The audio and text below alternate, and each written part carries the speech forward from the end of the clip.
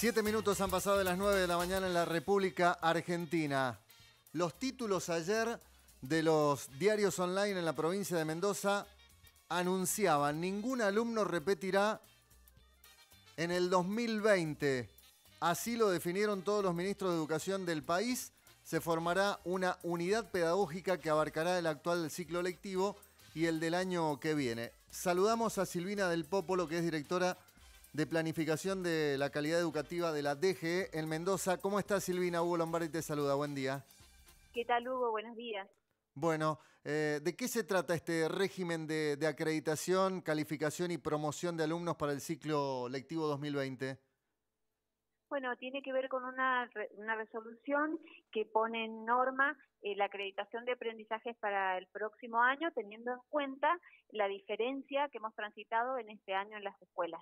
Esto tiene que ver con em, espiralar un poco los conocimientos de los chicos y los aprendizajes entre lo que ha ocurrido este año y lo que ocurrirá el próximo año, ¿no? Como entendiendo que no todas las trayectorias han sido eh, iguales, que hemos tenido diferencias en ese tránsito por el año de acuerdo a las posibilidades de conexión de cada chico, a la intermitencia de sus conexiones, en fin, eh, necesitamos una resolución que contemple esa trayectoria y que dé la posibilidad de continuar con los aprendizajes en 2021.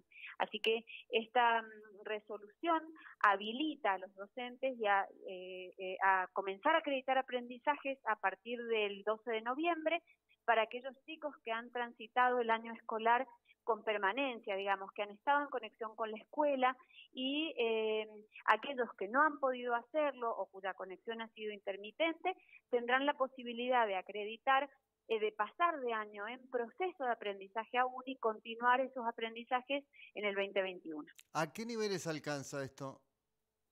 La medida alcanza a todos los niveles, primario, nivel inicial, que normalmente este nivel inicial no son promocionales, pero pero bueno, se este, contempla también ese nivel, nivel primario y nivel secundario. ¿Y esto es para escuelas públicas y privadas?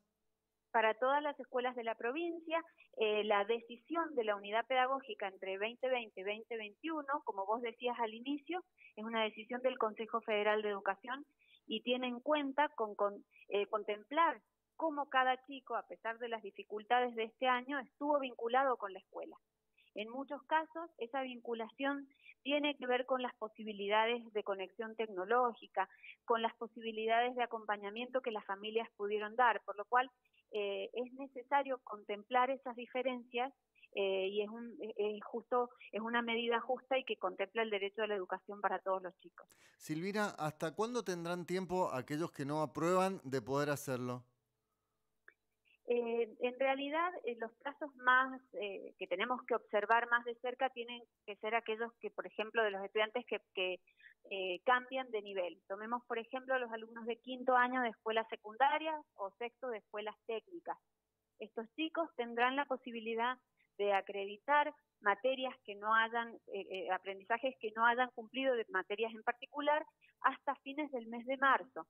Eh, pasada esa fecha, tendrán instancias de acompañamiento, de exámenes para, para poder este, completar estudios secundarios.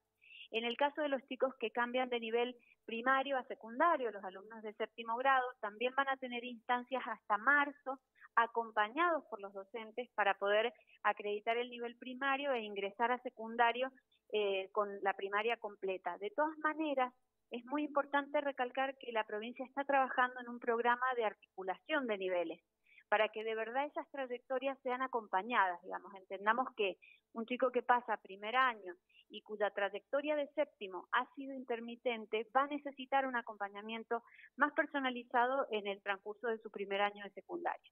Esto teniendo en cuenta que probablemente el ciclo 2021 tampoco sea con la regularidad que lo conocíamos hasta, hasta hace unos meses, sino que seguramente estemos en una bimodalidad con los chicos presencialmente eh, de algunos días, probablemente otros días desde la casa, en fin, no vamos a volver al aula que conocíamos. Entonces, todo esto eh, conforma el escenario con el que nosotros tenemos que analizar y planificar el ciclo 2021.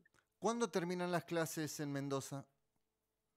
El calendario escolar eh, finaliza el 11 de diciembre y se respeta esa fecha de finalización. que los chicos con, eh, que, que, han tenido trayectorias de permanencia ya puedan comenzar a acreditar aprendizajes a partir de mediados de noviembre, eh, implica que los docentes puedan eh, asignar a esos chicos tal, otro, otro tipo de actividades más relajadas, que por ahí tengan más presencia de lo lúdico y, y, sí poner su atención en los chicos cuyas trayectorias han sido más, más débiles. Pero habrá propuestas de actividades para ellos hasta el 11 de diciembre como estaba planificado inicialmente. ¿Cómo va a ser ese proceso de acompañamiento, decías, para aquellos que han tenido más dificultades en su trayectoria? Bueno, eh, desde mm, hace aproximadamente tres meses y gracias a la nominalización de los chicos en el sistema GEM, eh, ya hay dispositivos de acompañamiento desde institutos superiores, desde otros organismos que están este, eh, gracias a, digo, insisto, a la identificación de estos chicos, ¿no? Que el GEM nos ha permitido acompañando y por lo menos haciendo una, una reconexión con la escuela que permita eh, que el docente comience a trabajar con estos chicos. Digo, ese trabajo de reconexión ha llevado mucho tiempo, justamente porque por la intermitencia, hay chicos que se han mantenido conectados un tiempo, que luego han dejado de enviar actividades. Entonces, eh, ha sido necesario generar estos dispositivos de acompañamiento. Pero además de eso, eh, estamos pensando en instancias en el mes de diciembre y en el mes de febrero que nos permitan retomar esas trayectorias, además de lo que hagamos en el curso de 2021, que como te decía hace un momento, tiene que ser un año, va a ser un año particular, porque tenemos que atender a lo que se aprendió este año, a lo que no se aprendió. Recordemos que este año transitamos priorización de aprendizaje, hemos, hemos estado trabajando con aprendizajes prioritarios todo el año y tenemos que anclar en esos aprendizajes prioritarios para 2021 y construir sobre eso. Es un trabajo que seguramente se va a profundizar en las jornadas, ya se inició en las jornadas docentes de septiembre, se va a profundizar entre diciembre y febrero, pero eh, lo que intentamos es mirar la trayectoria individual de cada chico y reconstruir a partir desde donde cada niño ha dejado.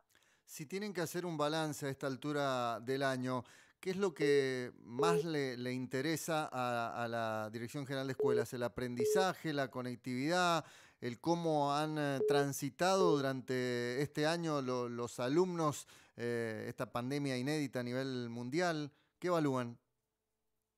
Bueno, sin duda ha sido un año cargado de desafíos. Eh, yo rescataría como positivo eh, la, la, la, la conexión que se ha logrado mantener con los aprendizajes, incluso con lo emocional al interior del aprendizaje, a pesar de la desconexión, digo, ¿no? Es como si, si nos hubieran puesto en jaque frente a lo que conocíamos, eh, que era un aula en la que todos nos encontrábamos y aprendíamos no solo del docente, sino del que teníamos sentado al lado, y de pronto ese contexto desaparece y nos vemos obligados a aprender al interior de nuestras casas, eh, conectados en lo posible y dentro de las posibilidades de cada uno a un dispositivo. Eh, pero bueno, también nos marcó el uso de la tecnología en el aula, porque eh, nosotros iniciamos el año con menos de 100 aulas virtuales en la, en la plataforma de la DGE y hoy tenemos arriba de 50.000. Eso significa que eh, los docentes por, por, fuerza mayor tuvieron que vincularse a través de lo tecnológico y eh, han, han, descubierto en ese recurso una manera de, de, de, encarar el aprendizaje que es diferente y que se impone hacia el futuro, porque pensemos no solo en el aula, en el aula que, que conocíamos, sino en toda, en la vida diaria, cómo la mejoró el cruce de la tecnología o la modificó. Entonces, e, ese instalar esos cambios que la educación ya miraba como deseable, nos hubiese llevado tal vez mucho más tiempo eh, de lo que la pandemia impuso. Esto tratando de verlo desde el lado positivo. Por supuesto que hubiésemos querido transitar un año más, eh, más normal, más, más cercano a lo que conocíamos, pero creo que hemos podido dar respuesta todos los agentes de la comunidad educativa participando para que los chicos siguieran aprendiendo a pesar del contexto. A esta altura del año, ¿ya podemos decir que no volverán de manera presencial los alumnos a las escuelas? Yo creo que eh, esto está marcado por la situación epidemiológica de la provincia y no hay indicios por el momento de que se pueda revertir la situación que tenemos a un poco más de un mes de finalizar el ciclo lectivo.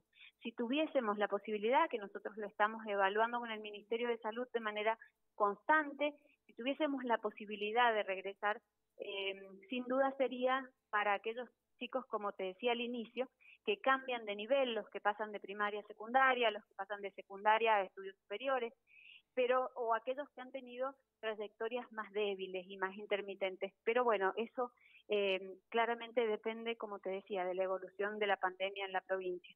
Silvina, ha sido un gusto escucharte. Muchas gracias. No, por favor, gracias a ustedes. Hasta cualquier momento. Silvina del Popolo, que es la directora de planificación de la calidad educativa de la Dirección General de Escuelas en todo el país. Es una decisión del Consejo Federal de Educación. Se determinó que el régimen de acreditación, calificación y promoción de alumnos para el ciclo lectivo 2020 nadie va a repetir. Tendrán un acompañamiento, como decía Silvina, y tendrán eh, hasta el mes de marzo aquellos que lógicamente no hayan logrado aprobar eh, las materias en este ciclo lectivo 2020. Algo inédito, impensado, pero que no solo pasó en la Argentina, sino a nivel mundial por la pandemia del COVID. 9 de la mañana, 18 minutos, 14 grados la temperatura. En un ratito, 9 y media de la mañana, estaremos hablando con el eh, exintendente de Rivadavia, Ricardo Mansur, por el proyecto de la senadora nacional del Frente de Todos, Anabel Fernández Agasti, que propone que los obreros de viñas y los empleados de establecimientos de bodega se puedan jubilar a los 57 años con 25 años de aporte, ya sea hombres y mujeres. ¿Por qué vamos a charlar de este tema con Mansur?